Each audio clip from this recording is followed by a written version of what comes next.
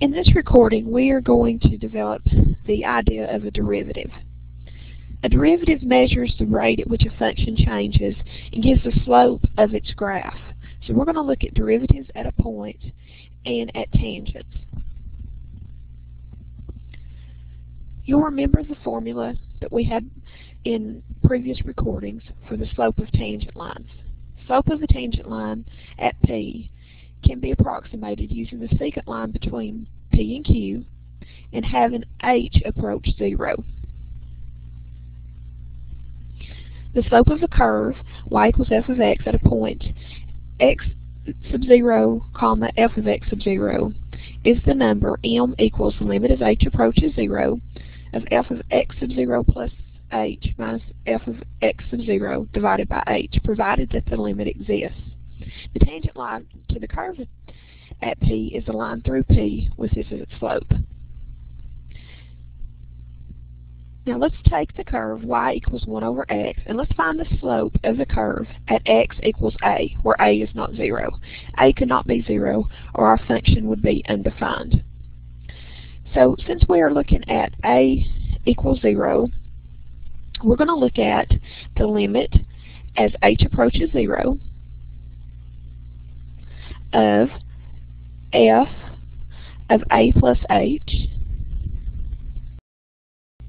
minus f of a divided by h. So we have just replaced our x sub 0 with a, since a is the x value we're looking at here. Well, f of a plus h is what we get when we plug a plus h into our function. So that would be the limit as h approaches 0 of 1 divided by a plus h minus f of a is what we get when we plug a in. So that's 1 over a. And this is all over h. Now since we have um, fractions within fractions, we have a complex fraction. To eliminate the two fractions that we have in the numerator here, we will choose the common denominator. The common denominator will be a plus h times a, and we'll multiply every term, top and bottom, by the common denominator. So this will give us the limit as h approaches 0 of, and we will multiply the first term in the numerator by a plus h times a, and we'll multiply the second term by a plus h times a. And on bottom, since we only have one term, we'll multiply that term by a plus h times a. Now this will eliminate all of our fractions. So this will give us the limit as h approaches 0 of a times 1, which is a, minus a plus h, and that's all over a plus h times ah. Now notice I left the parentheses on the top. I did this so that we would remember to change both signs. So this is minus a and minus h.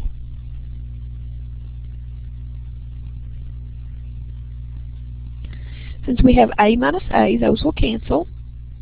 And we'll have the limit as h approaches 0 of negative h divided by a plus h times ah.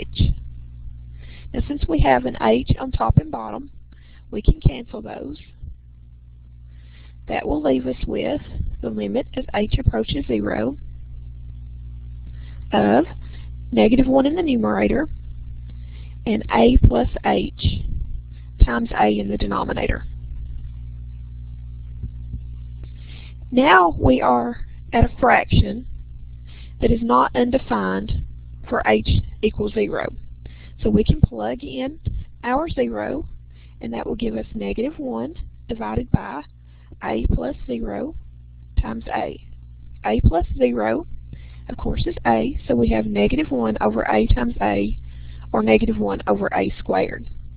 So the slope of a curve, y equals 1 over x, at x equals a, is negative 1 over a squared. So we can choose any a not equal to 0, and we can plug into this formula to find the slope of the curve at that x value. Now, where does the slope equal negative 1 fourth?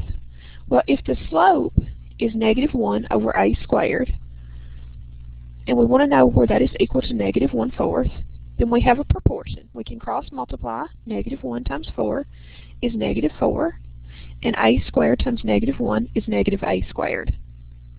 If we divide both sides by a negative 1, we'll have 4 equals a squared. Remember the opposite of square in a number is taking the square root, so we can take the square root of each side. Remember when you take the square root of each side, we have to include both the positive and the negative. The square root of 4 is 2, so we have to include both positive and negative 2, since 2 squared is 4 and negative 2 squared is 4. So where a is 2 and where a is negative 2, our graph will have a slope equal to negative 1 fourth. Here's a picture of a graph of y equals 1 over x, and you can see the two points where x is negative 2 and where x is positive 2, and at both points the tangent line has a slope of negative 1 fourth. If we think about this graph further and think about what happens as we get closer and closer to negative infinity, our tangent slopes are going to become, our tangent lines are going to become flatter and flatter, and so our tangent slopes are going to get closer and closer to zero. As we get close to zero, you'll see that our tangent lines start becoming much more steep. Same's true to the right of zero, we have steep tangent lines. And as we go around toward infinity, our tangent lines become flatter and flatter, and our, our slopes will approach zero.